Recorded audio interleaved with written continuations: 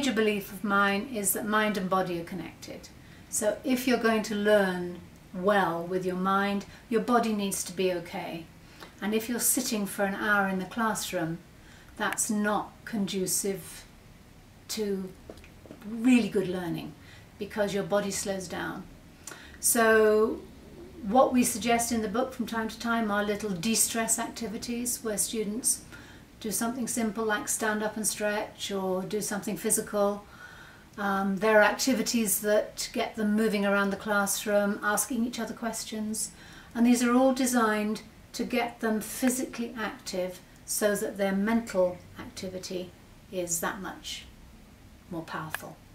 Yeah. The idea that the students are very varied, teachers are very varied actually as well.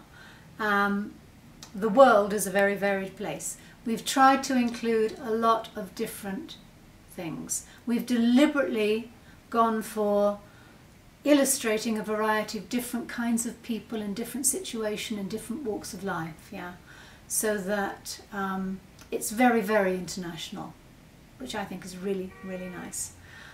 In terms of activities, there's a, there's a wide variety. There's all the things that you would expect to find that teachers love doing.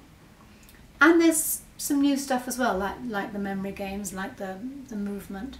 Um, so it's a kind of lovely blend of familiar and new, I think, without being too scary.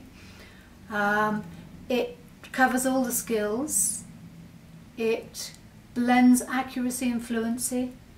It's a lovely balance, I think. That balance is a good word to describe it. It's a balance of really interesting um, classroom materials, which are book-based, and a load of potentially exciting online stuff.